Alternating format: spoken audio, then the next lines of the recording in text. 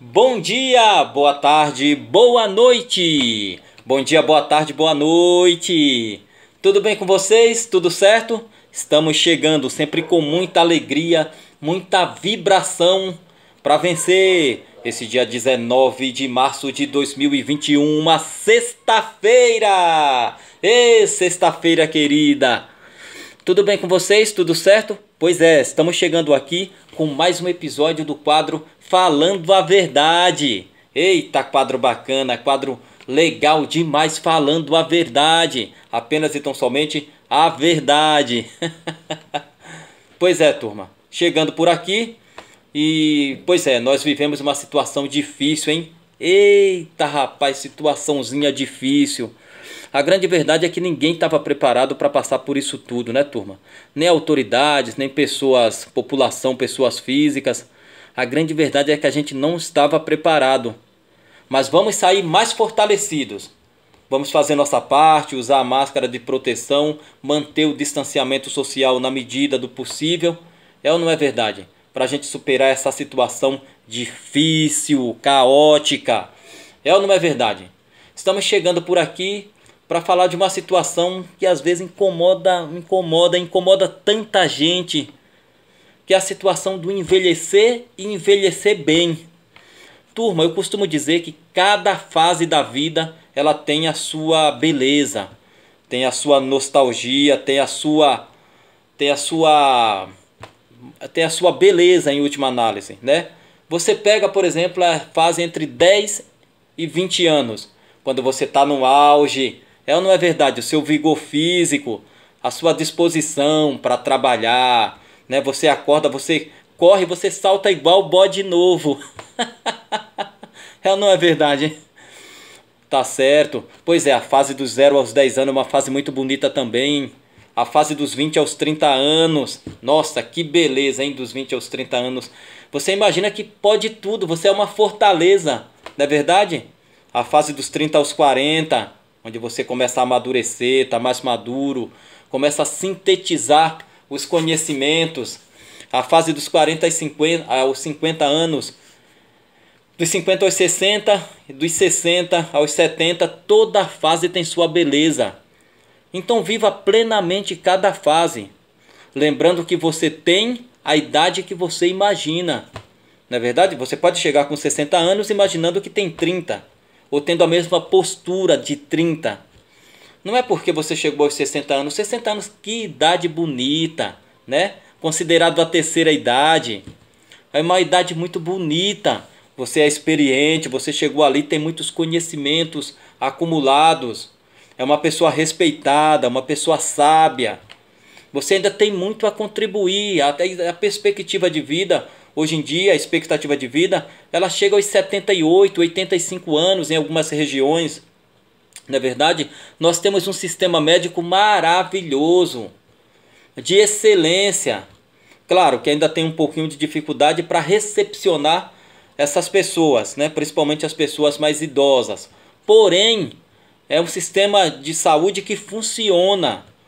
E as pessoas vivem muito mais, né? Vivem muito mais. Agora é preciso viver mais e viver bem. Porque também não adianta você chegar a 80, 90 anos vivendo mal. Não é verdade? Comer, por exemplo. Meu amigo, minha amiga, você pode comer de tudo, mas desde que com moderação. É ou não é verdade? Com moderação.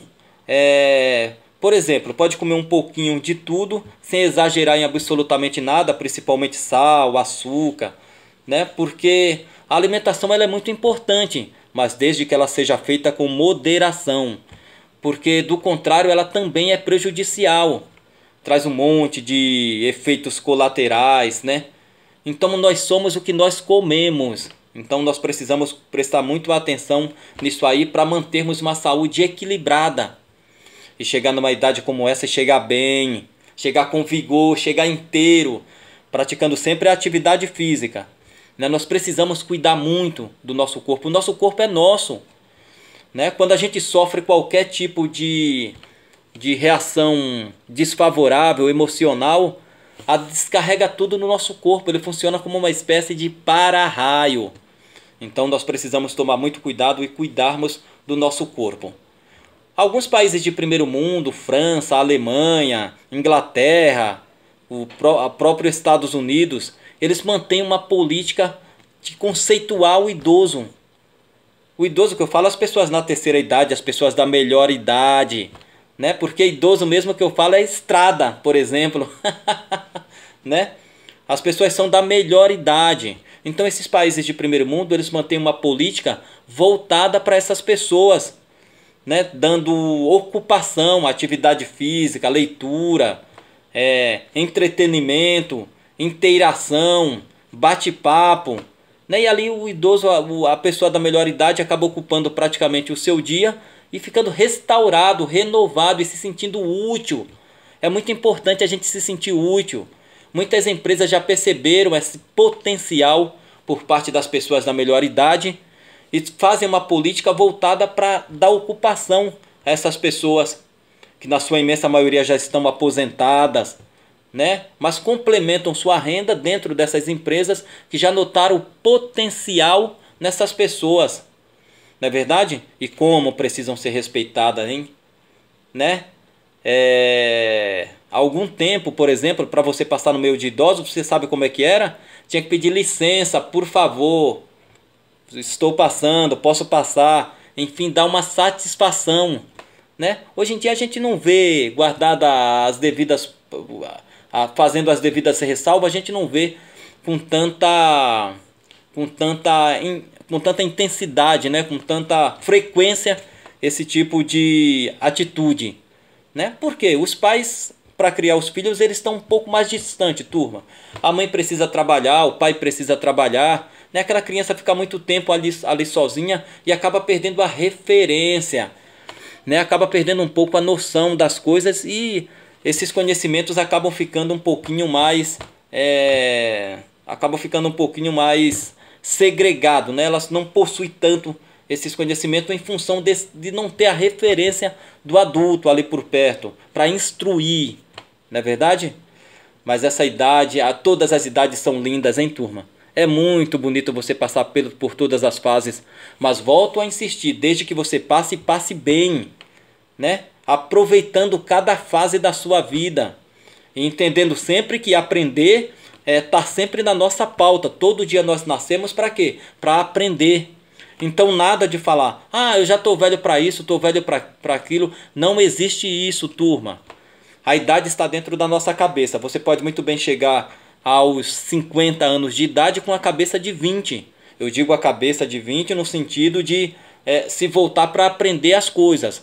Agora é claro, a maturidade ela tem que acompanhar você sempre, independente da idade. Tem gente, por exemplo, que era muito mais responsável quando era mais novo. É perfeitamente possível de acontecer isso aí. Tá certo?